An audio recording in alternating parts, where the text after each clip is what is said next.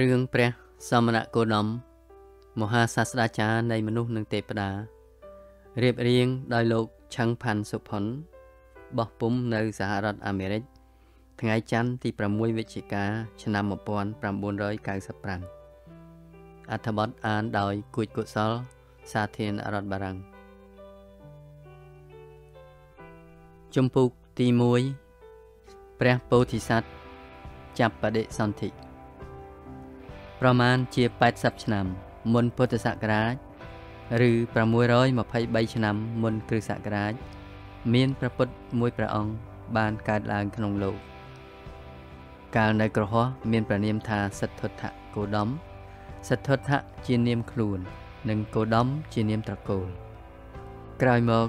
ក៏បានប្រែទៅជាព្រះពុទ្ធមួយព្រះអង្គព្រះនាមថាព្រះពុទ្ធដែលមានមនុស្សយ៉ាងតិចក៏8កោដនាក់ក្នុងពិភពលោក គោរពបូជា និងចាត់ទុកព្រះអង្គថាជាព្រះមហាសាស្ត្រាចារ្យដ៏កំពូលព្រះអង្គបានកើតនៅក្នុងត្រកូលស្ដេចដែលមានព្រះវរៈបិតាព្រះនាមសទ្ធោទនៈនិងព្រះមេដាព្រះនាមសិរិមហាមាយា ឬមហាមាយាទេវី នៅក្នុងសាខៈរាជត្រកូលនាទីក្រុងកបិលពស្សពថ្ងៃស្ថិតនៅក្នុងតំបន់មួយជាប់ប្រទេសនេប៉ាល់ភូមិភាគខាងជើងនៃប្រទេសឥណ្ឌា នៅថ្ងៃប្រហោះ15កើតពេញបូរមីខែអាសាឍឆ្នាំរកា មុនពុទ្ធសករាជ80ឆ្នាំនិង10ខែ ជាថ្ងៃដែលព្រះអង្គមកចាំបដិសន្ធិក្នុងផ្ទៃព្រះមេដារយៈ7ថ្ងៃមុនថ្ងៃពេញបូរមីនេះ មានមហាជនជាច្រើននៅក្នុងទីក្រុងកបិលពស្នាំគ្នាលេងមហោស្រពយ៉ាងសប្បាយរីករាយព្រះនាងសិរិមហាមេយាទ្រង់ព្រះកាយដោយគ្រឿងក្រអូបនិងលៀបសុគន្ធវិលេបណៈ ហើយក្រសាលអស់កាលទាំង7ថ្ងៃនៅថ្ងៃពេញបូរមីវេលាព្រឹកព្រះនាងទេវីបានធ្វើបរិច្ចាគទានជាទ្រព្យអស់ចំនួន4សែនកហបណៈដល់ប្រជាពលរដ្ឋ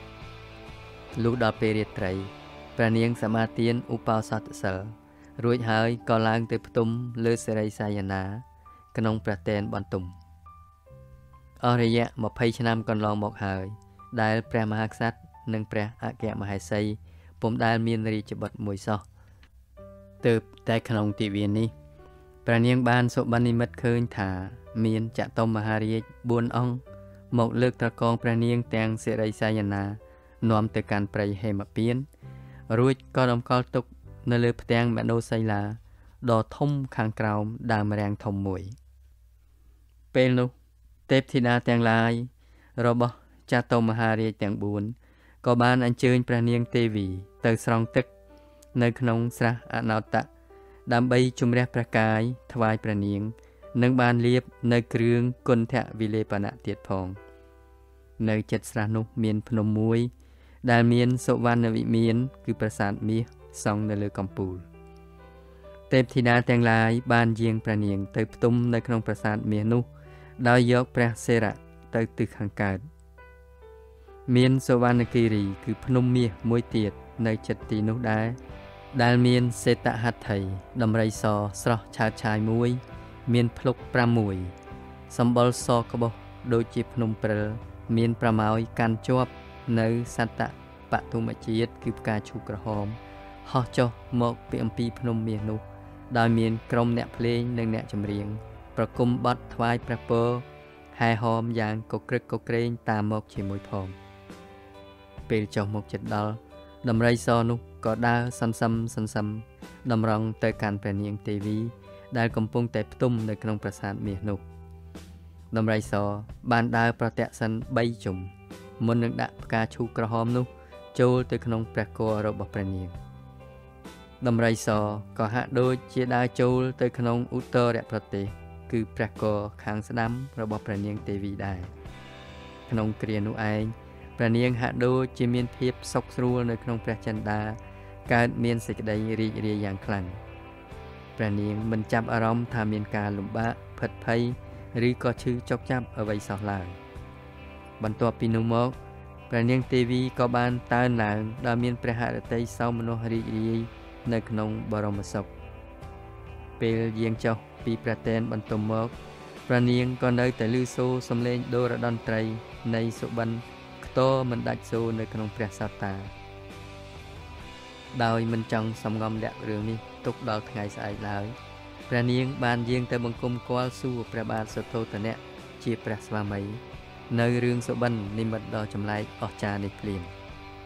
ព្រះរាជាទ្រង់កោតស្ញប់ស្ញែងនៅរឿងសុបិនដ៏ចម្លែកនេះណាស់លុះព្រឹកស្អែកឡើងព្រះរាជាទ្រង់ត្រាស់បញ្ជាឲ្យរាជបុរសទៅអញ្ជើញអស់ពួកព្រាហ្មណ៍ មកគុនគូកាត់សុបិននិមិត្តនេះ ថាតើមានន័យយ៉ាងណាដែរពួកព្រាមសោតក៏ទូលនៅទំនាយតាមប្រការដូចតទៅថាបបិទ្ធព្រះសមតិទេពព្រះអង្គម្ចាស់ក្សត្រីនឹងប្រសូតបានបុត្រាមួយព្រះអង្គដែលនឹងប្រែទៅជាអ្នកដឹកនាំព្រះរាជាណាចក្រដ៏ឆ្នើមហើយព្រះរាជកុមារនឹងមានវាសនាធ្វើជាព្រះអធិរាជដែលមានអធិនុពលខ្លាំងពូកែ អាចដឹកនាំសត្វលោកគ្រប់ទិសទាំង4យ៉ាងល្បីល្បាញឬក៏នឹងក្លាយជាព្រះមហាសាស្ត្រាចារ្យដ៏កំពូល ដែលនឹងអាចដឹកនាំសពសត្វទាំងក្នុងឋានសួគ៌និងក្នុងឋានមនុស្សឲ្យគោរពប្រតិបត្តិតាមព្រហ្មចរិយធម៌បបិទ្ធព្រះមហារាជនគររបស់យើងរងចាំអ្នកមានបុណ្យបែបនេះកើតឡើងជាយូរយារណាស់មកហើយព្រះបាទសទ្ធោទនៈទ្រង់ញញឹមតបព្រាមវិញ ដើម្បីបង្ហាញនូវការយល់ព្រមបន្ទាប់អំពីបានប្រឹក្សាបដូរព្រះយោបល់និងព្រះអគ្គមហេសីរួចមកហើយព្រះរាជាក៏ទ្រង់បញ្ជាឲ្យគេរើយករបស់ទ្រព្យចេញអំពីឃ្លាំងយកទៅចែកជាទានដល់ប្រជាពលរដ្ឋដែលក្រខ្សត់អត់ឃ្លានទូទាំងប្រទេស ការធ្វើដូច្នោះបណ្ដាលឲ្យប្រជាពលរដ្ឋនៅក្នុងនគរដឹងថាព្រះមហាក្សត្រនិងព្រះអគ្គមហេសី នឹងប្រសូតបានបុត្រមួយអង្គនៅក្នុងពេលអនាគតដ៏ខ្លីខាងមុខព្រះនាងសិរិមហាមេយាជាស្ត្រីប្រកបដោយគុណធម៌ដ៏ធំធេង